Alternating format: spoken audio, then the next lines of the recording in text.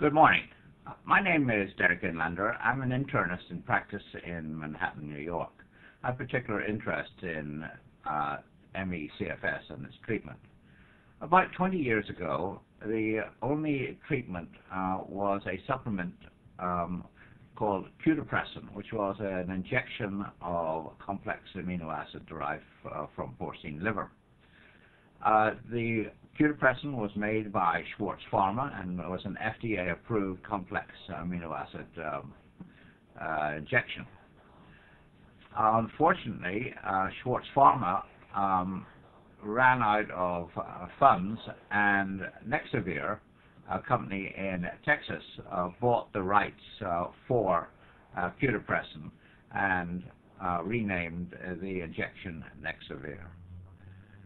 Um, we actually uh, had used um, and Nexavir um, in a complex uh, form. What does that mean? That means actually that we find that Kutapressin uh, on its own had relatively little uh, effect, and when we actually complexed it with um, various substances such as methylcobalamin, folic acid, glutathione, magnesium chloride, magnesium sulfate, caltazan, and trace metals, zinc and molybdenum, we improved the efficiency uh, of the Nexavir. Uh, it, uh, as I said, was an injection, an intramuscular injection given um, once weekly. We find actually uh, that um, the uh, Nexavir uh, was um, improved in its efficiency also if we actually uh, gave um, glutathione and L-cysteine. Um, we knew that glutathione was low in uh, patients with ME and CFS. Um, and we also gave folic acid um, uh, in um, addition.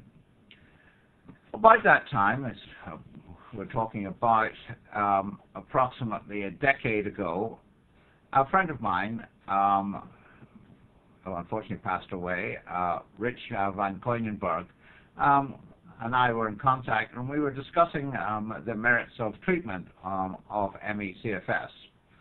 Uh, Rich was a brilliant um, uh, researcher. Uh, in fact, uh, his research, original research was not in medicine, was in physical science, uh, he had uh, a particular interest in looking uh, at the various treatments of, of ME and came up with uh, an idea that the uh, problem lay in the methylation cycle in the immune system.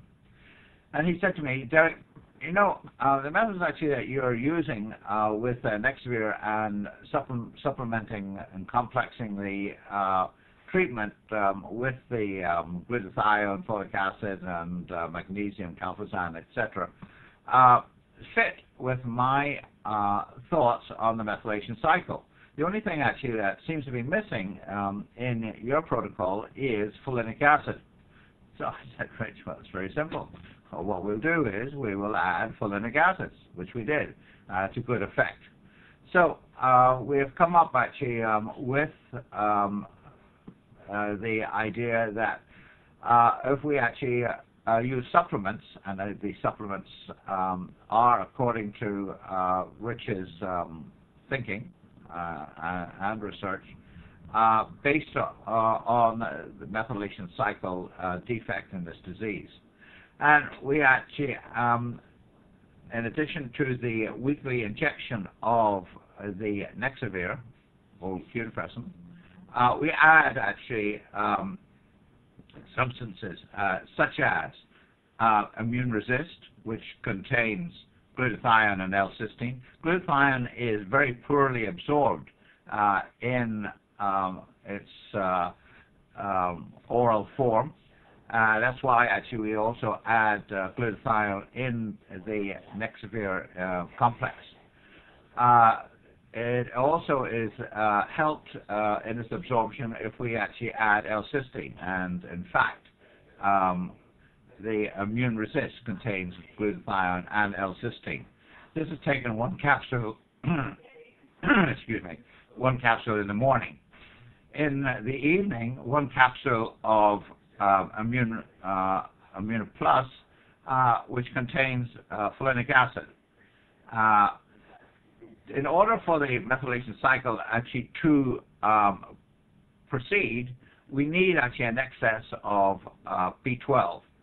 And the old method of uh, administering B12 um, was by intramuscular injection. Nobody likes an injection.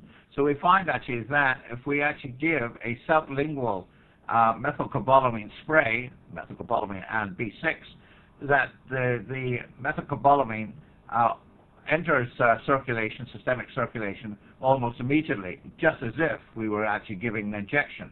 So uh, the sublingual spray uh, is uh, a simple method of administering B12.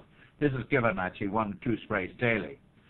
Um, Blasi uh, is a researcher uh, in Barcelona, Spain, and a patient actually came from Spain and said, well, what do you think of Blasi's ideas on electrolyte supplementation?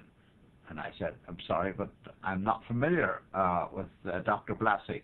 And they said, well, he's not exactly a doctor, uh, he actually uh, found that if you add electrolyte, and his uh, electrolyte was called recuperation or recup, uh, contained potassium, sodium, magnesium, and calcium. And this actually tend to relieve um, pain and muscle and muscle fatigue. So, of course, actually, uh, we got um, uh, Recup from Spain and um, unfortunately, it's somewhat difficult to get in the United States, and the FedEx cost um, was prohibitive. So we find actually a substitute called Lectrolyte, and this, as I said, contains potassium, sodium, magnesium, and calcium. And this is given actually two teaspoons in the morning, two teaspoons at night, and actually seems to help um, with uh, muscle uh, fatigue. Lastly, uh, patients actually with this disease unfortunately have brain fog and uh, the brain fog is, uh, is in the form of, of um, memory loss, short-term memory loss, and concentration loss. And we find actually that uh, the catapult, um, which contains uh, phosphatidylserine and cat's claw, uh, is helpful. So, in essence, um, I'm actually uh, basically telling um, all my patients. Um, what a wonderful researcher um, Rich von Konynenburg uh, was. And unfortunately, he passed away, as I said uh, two months ago. A terrible loss uh, to me personally and to um, science in general. I hope actually that these few words, um, which I dedicate to, to Rich, uh, are helpful um, to uh, patients. I thank you very much.